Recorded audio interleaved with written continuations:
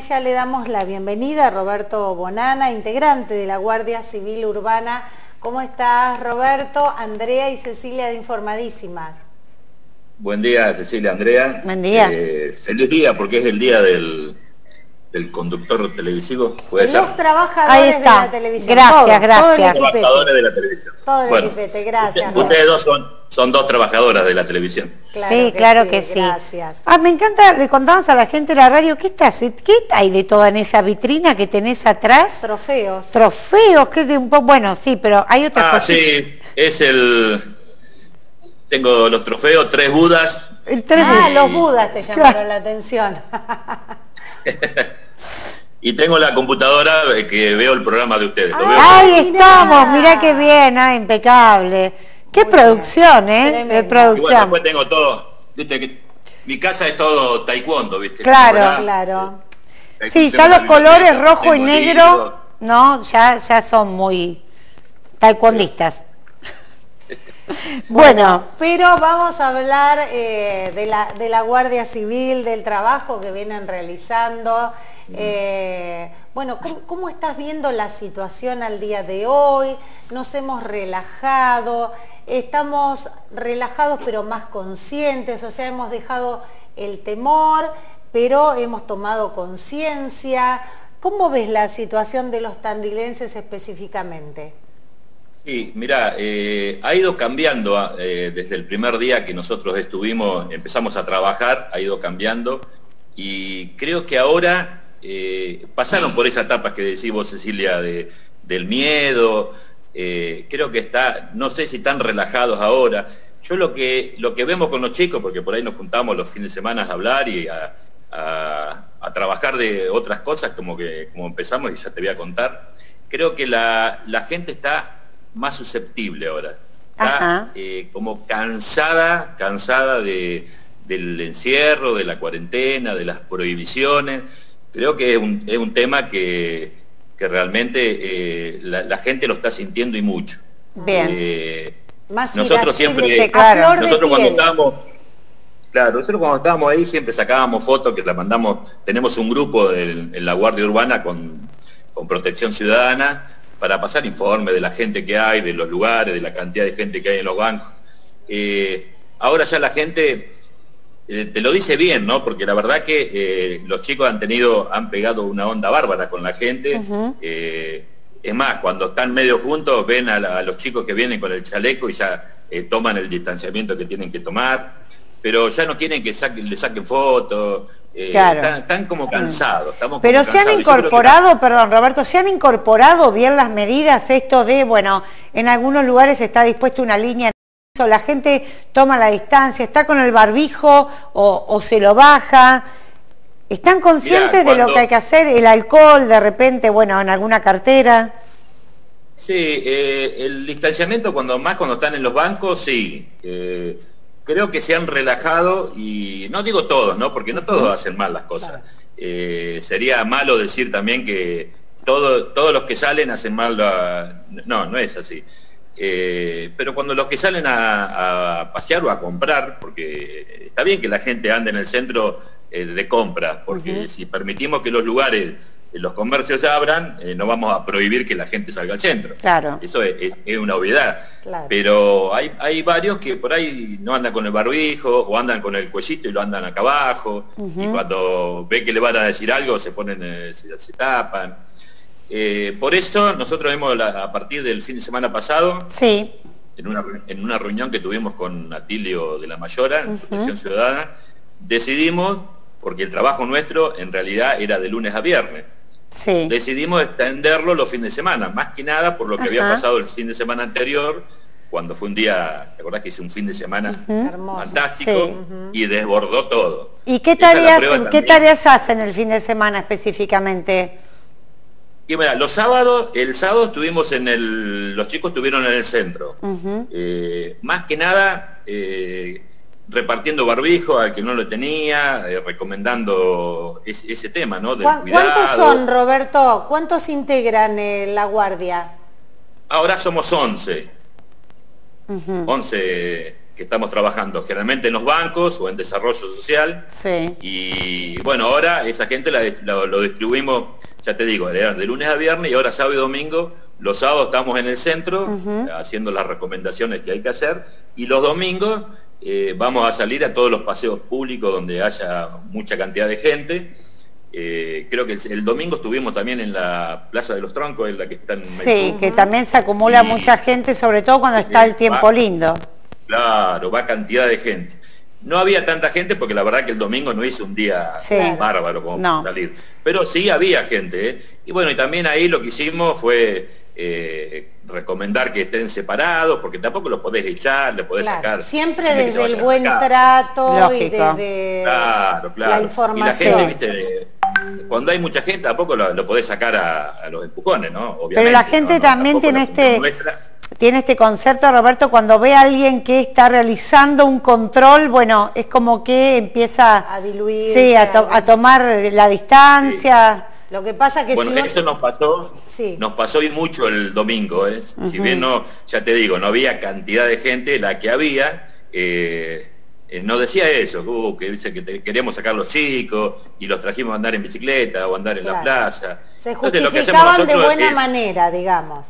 Sí, sí, sí, aparte nosotros vamos también, eh, sabemos cómo está la gente, eh, no, estamos ajenos a eso. Y entonces vamos de buenos modales, como siempre, ¿no? Entonces le recomendamos que no se junten, que no estén tan cerca, a los que también hacemos el mismo trabajo que hicimos en el centro, a los que, a los que no tienen barbijo, les recomendamos el barbijo, que no tomen mate. Las recomendaciones que generalmente la mayoría sabe, pero eh, por ese estado de susceptibilidad y cansancio y de agotamiento del encierro, eh, a veces como que la dejan de lado y no... Y hablabas, hablabas de esto que al comienzo, bueno, la gente aceptaba de buen grado la foto que por ahí ustedes sacaban, y ahora esto de que si sacan una foto, viste que la gente tiende a tomar, toma la medida de uno con otro, mira a ver cómo tiene, eh, están mm. como eh, al salto de, toda situación, ¿no? Sí, sí, no, tal cual, tal cual. Ese fue uno de los, de los cambios que vimos. Igual, eh, te, digo que con los chicos de la guardia, la verdad que no hemos tenido inconvenientes por ahí alguno que se enoja, dice que no le digan nada, pero vos sabés que hemos tenido casos que por ahí eh, se han enojado y, los mismos que están en la, fila del banco le dicen, no, no, pero tiene razón, ponete el barbijo, que es para el cuidado para todos. O sea que en el general de la gente eh, en Tandil se cuidan. Yo creo que no es casualidad que estemos como estemos en Tandil, no es que, porque acá dice, no, Tandil porque es una burbuja, no es una burbuja. Eh, yo creo que desde la ciudad, desde el gobierno y de la ciudadanía hemos hecho las cosas bien. Porque Seguro. si no, estaríamos en el Sí. Roberto, vamos a recordar que estamos hablando con Roberto Bonana, que bueno, forma parte de la Guardia Civil Urbana. Hablabas de las plazas, específicamente los juegos, ¿se pueden utilizar? ¿No se debe hacerlo? ¿La gente tiene conocimiento de esto? Sí, eh, en realidad no se tendrían que usar, ¿viste? Por el tema de que eh, habría que desinfectarlo continuamente. Claro. Eh, pero, se usa. Claro, ¿viste? Vos, es todo muy difícil, ¿viste? Porque la línea, la línea de lo que es permitido y lo no permitido es muy delgada también. Porque si vos tenés un montón de chiquitos, no lo va a andar que se suben a, no sé, al tobogán y, desinfectando la escalerita cada rato es muy difícil, ¿viste? Yo creo que... No eh, son, ustedes no tienen poder de policía, están eh, más que nada para concientizar. No, no, no, nosotros estamos más que nada para recomendar, para, para ayudar, para eh, tanto en el banco como ahora lo que salimos en el centro, el distanciamiento, el uso de barbijo, que no se aglomere la gente. Están en, horario, en horario diurno, ¿Qué pasa con los fines de semana y algunos encuentros, em, bueno, en, zonas alejadas donde ha habido previas y bailes? Ustedes ahí no tienen injerencia. No, no, ahí no, eso ya pertenece a la dirección general. Y la, el tema de la, uno sabe, se entera también, ¿no? O te enterás de alguna fiesta eh, después que, pasa, ¿no? Ayer estuve con, en, en el Zoom que hizo el intendente con las entidades deportivas y y las instituciones eh, comerciales y, el intendente lo dijo bien, muchas veces uno se entera después que pasa, al otro día. Entonces yo creo que acá es, eh, es mucho de la conciencia de la gente. Uno, eh, el trabajo nuestro también es para refrescarle o para insistir en el tema, ¿no? Que está bien, por más que ellos estén cansados, que, pero tienen que, las medidas de prevención eh, hay, hay que usarla, hay que tenerla.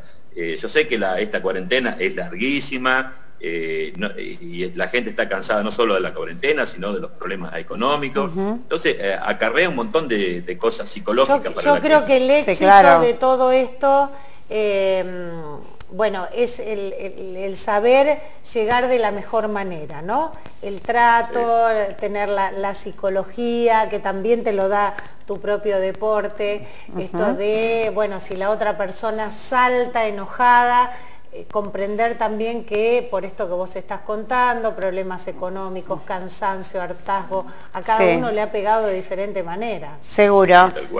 Roberto, a ver... Cuando, tenemos las charlas con los chicos, yo trato de hacer, eh, hacer mucho hincapié en eso, que uno tiene que ir eh, sabiendo que la otra persona puede estar cansada, pero no enojada con nosotros, sino el, enojo lo tiene con la situación. en general. Así que nosotros lo que tenemos que hacer es eh, primero comprenderlo y después hacerlo entender, pero de una de la mejor manera.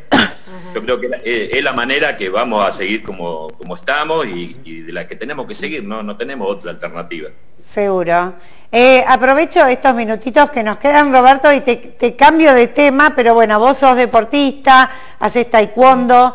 Em, ¿Qué te pareció? No sé qué lectura hiciste, si es que la tenés, respecto, bueno, a este chico, al remero, hablo de Ariel Suárez, la noticia que se conoció en todos los medios, porque él realmente dijo, bueno, no aguanto más, necesito tener contacto con el agua, es, es su vida ese deporte y después, bueno, se vieron las lágrimas de emoción y también hizo así una referencia a qué inequidad había, ¿no? Entre el fútbol, bueno, y el remo.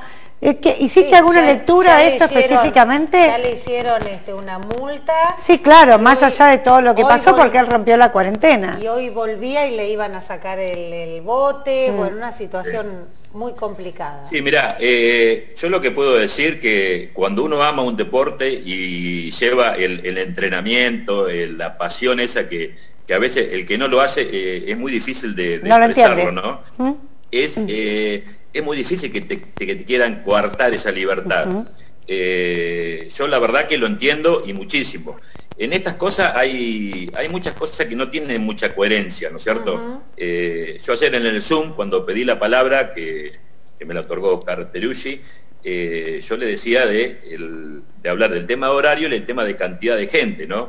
Pero acá, igual en Tandil, en taekwondo, el taekwondo en, Buenos Aires todavía no está permitido, no están todavía con clases por Zoom, por virtuales, y yo hablo con los chicos y están desesperados también por eso yo a este muchacho lo entiendo y cantidad, porque él tiene razón en muchas cosas, porque un, deporte, el remo, que está solo, está solo, yo no sé qué... qué en medio del agua. Toma, yo no quiero ponerme enfrentarme con el ministro de Salud ni nadie, ¿no? Pero yo digo, ¿qué criterio tienen que tomar para decir eh, el remero no puede estar? Campeón olímpico, con medallas. sí, justamente cuando ayer lo decíamos acá, el gobierno al margen de eso, Cecilia, escúchame, al margen de eso, ¿qué contagio puede tener si está solo en el medio de un lago? O igual que lo que pasó con lo del golf, que eran tres, sacaron a tres golfistas que estaban totalmente separados, caminando, creo que ni llevaban Cádiz, así que fíjate vos que... Hay unos criterios bastante complicados de entender. Claro, y eh, eso hace que la gente, la gente se ofusque más, no lo entienda, y por qué el fútbol, que a lo mejor eh, claro, en comparación al remo, el fútbol mueve mucho dinero. El remo. Y yo lo entiendo, eh, lo entiendo a este muchacho que debe ser la vida de él eh, subirse a un bote y remar, y debe ser lo que lleva en las venas, ¿no es cierto? Es como que a mí los meses estos que me prohibieron hacer taekwondo, que si bien yo practicaba con mi hijo acá en casa todos los días, no es lo mismo, no es lo mismo, no tenés esa libertad de tener el contacto con los alumnos, de entrenar, de, y aparte, como, como decía, perdón, como decía él y todos los deportistas concluyen lo mismo, o sea, el deporte es salud, ¿no? No nos dejan hacer esto y... Eh, yo creo que el deporte no es el medio de contagio, sino el deporte es el medio para, para no contagiarte, ¿no? Porque esto se sabe que ataca el sistema inmune, así que cuando vos más entrenado estás, cuando más sano estás, vas a tener menos posibilidad de, contagiarte de algo. Sí, o de hacer frente más fácilmente al contagio. Claro, son los criterios que tienen, no sé, ellos son los expertos. Yo no me quiero poner a hablar de esos temas porque no soy ni, infectólogo, ni médico, ni nada. Yo lo que hablo es de un poco del sentido común, ¿no? Porque yo, aparte, yo estoy de acuerdo que vuelvan los, futbolistas, que vuelva al fútbol, que vuelva al rugby, que vuelva al hockey, los deportes en conjunto, porque para ellos también es una pasión entre Totalmente. El fútbol no es no es solamente, oh, eh. Messi gana millones, sí, bueno, pero es la pasión de él. Y acá hay gente que tiene pasión por jugar al fútbol, al rugby, No gana nada. Claro. Eh, sí, o, medir todo con, una vara similar, ¿no? Medianamente. Eh, entonces, claro, claro. Entonces, si, vamos a comparar un grupo de, 20, 20, personas entrenando y a, a uno solo que está en el medio de un y no, uno no entiende el criterio que toman eso. Es igual que, que yo lo planteé también, eh, yo en el gimnasio, yo doy en el Club Ferro, en el Cervantes Salina, que es un salón enorme, y puedo tener 10 alumnos. Hay otros que están en un, en un salón que es un cuarto o menos de un cuarto del Cervantes Salina y también puedo dar a 10. Claro. Entonces son, esas cosas, ves que yo sé que no, no se puede conformar a todo el mundo, ¿no? Pero yo creo que habría que utilizar algunos criterios eh, más razonables. Pero la verdad que verlo a este muchacho, eh, uno, uno lo entiende, pero lo entiende una empatía, creo que la mayoría de la población, una empatía enorme, no solo por él, sino por lo que él representa a muchos otros. Roberto, te agradecemos muchísimo esta charla para con la radio y el canal del ECO, como siempre un placer. Bueno, muchas gracias a ustedes. Muy amable, buena jornada. Muy bien, Roberto Bonana pasó por informadísimas, recordemos que es miembro de la Guardia Civil Urbana, bueno, dando cuenta del trabajo que vienen realizando, que bien nos decía, bueno, a raíz de esta inconducta que tenemos los tandilenses, de que cuando está el día lindo salimos y llenamos los paseos turísticos, bueno, también ellos están haciendo su aporte durante los fines de semana.